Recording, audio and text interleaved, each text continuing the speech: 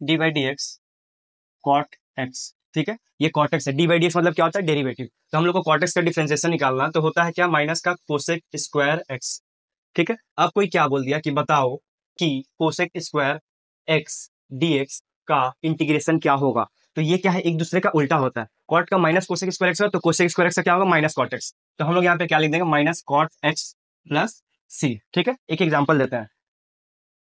Suppose यहाँ पे cosec square ten x है डी एक्स है, ठीक है? इसका अपने को क्या करना है? इंटीग्रेशन करना है। तो अपने को पता है कोसेक स्क्वायर एक्स का इंटीग्रेशन क्या होता है? माइनस का कॉट एक्स तो हम लोग भी क्या करेंगे? माइनस का कॉट एक्स लिख देंगे। लेकिन सावधान, यहाँ पे एक्स था तो एक्स लिखे यहाँ पे लेकिन टेन एक्स है। तो हम लोग यहाँ पे क्या करेंगे? टेन एक्स लिखेंगे। और एक्स के साथ जो नंबर यहाँ पे मल्टीप्लाई है, वो नंबर क्या है? टेन है। तो टेन से हम लोग डिवाइड करते हैं, ठीक है?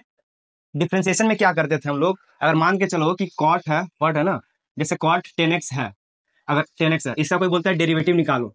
तो हम लोग क्या करते थे? कॉट का बोलते थे माइनस कोसेक स्क्वायर होता है कोसेक स्क्वायर टेन एक्स फिर अलग से टेन एक्स का करते थे तो टेन होता था, क्योंकि एक्स का वन होता तो आंसर आता था क्या? Minus ten cosec square ten X ठीक है? ये पूरा उल्टा है उसका, ठीक है? हम लोग यहाँ पे जो टेन मल्टीप्लाई करते थे ना एक्स के साथ जो था, अब क्या करेंगे? यहाँ पे डिवाइड कर देंगे प्लस सी कर देंगे।